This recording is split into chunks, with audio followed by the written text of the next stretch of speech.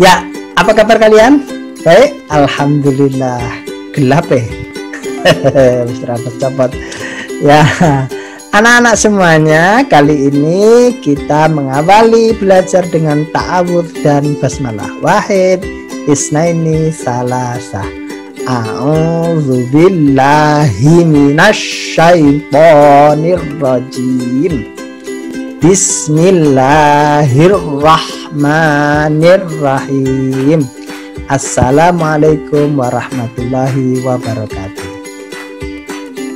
Ya, anak-anakku semuanya, kali ini setelah kalian belajar presentasi, desain teks secara mandiri. Ya, kali ini kita akan belajar Microsoft Excel anak-anak. Paint sudah, Microsoft Word sudah, sekarang Microsoft Excel. Kita akan belajar posisi sel, rows, and column. Adapun caranya seperti yang Mr. Abbas sampaikan berikut ini.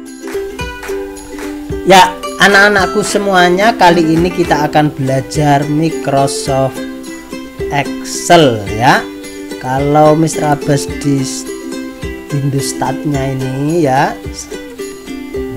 Mr. Abbas pakai Windows 8 ini ada juga Windows 10 ada juga Windows 7 pada search ya untuk di search kalian tulis Excel E X C E L. Ada Excel 2013 ada 2010 ada 16 ada 19 ya sama ya. Intinya adalah Microsoft Excel. Ini adalah tampilan dari Microsoft Excel. Kemarin ada Microsoft Word namanya adalah pengolah kata. Sedangkan Microsoft Excel adalah pengolah angka. Gitu anak-anak ya. Nah setelah tampil kita akan belajar posisi sel. Nah ini klik Mr. Di sini. Ini yang ada kotaknya ini namanya sel anak-anak. Dan kita belajar tentang kolom dan baris kalau Mr. Abbas klik di sini berarti berada pada kolom D baris 7 kalau Mr. Abbas klik di sini berada pada kolom B baris 4 nah kalau Mr. Abbas klik di sini apa bacanya iya kolom E baris 5 jangan kebalik bacanya nanti rumusnya akan kebalik anak-anak ya. Nah klik di sini apa? Iya kolom D baris 7 jangan kebalik baris 7 kolom D. Nanti pada rumus tidak bisa tertulis kalau terbalik kolom selalu dahulu ya Mister kolom apa ya Mister ini kolom? Kolom itu diwakili oleh huruf anak-anak. Ada huruf A ada huruf B ini yang ke atas ke bawah atau vertikal namanya bentuknya vertikal diwakili huruf disebut kolom. Kolom itu anak bagaimana ciri-cirinya anak-anak?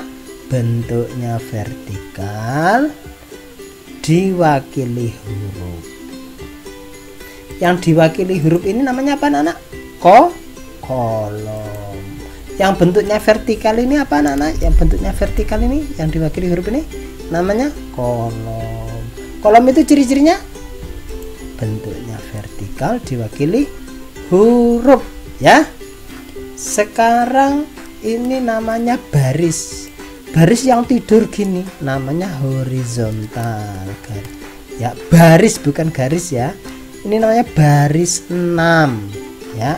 Baris 6 ini namanya baris 4 baris diwakili oleh angka. Kalau ini huruf ini angka.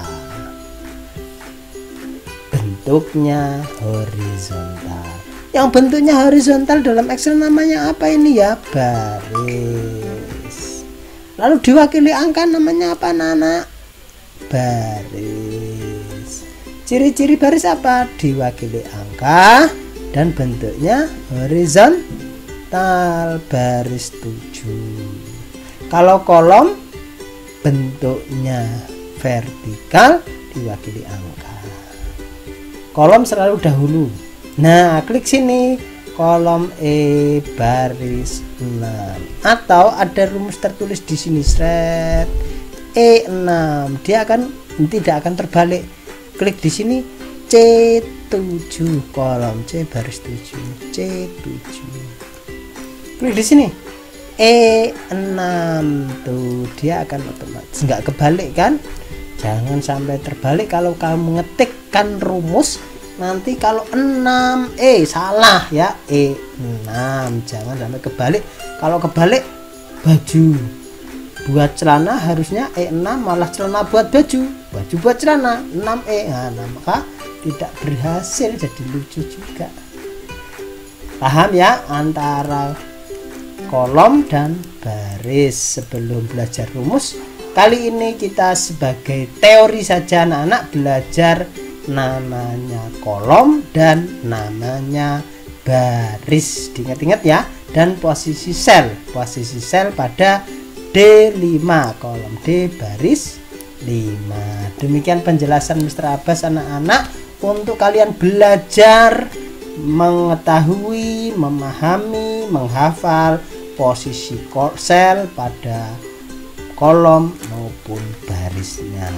Untuk memahami rumus D5 kolom D baris 5 terima kasih anak-anak kelas 3 hari ini tidak ada penugasan hanya pemberian materi pengenalan Microsoft Excel.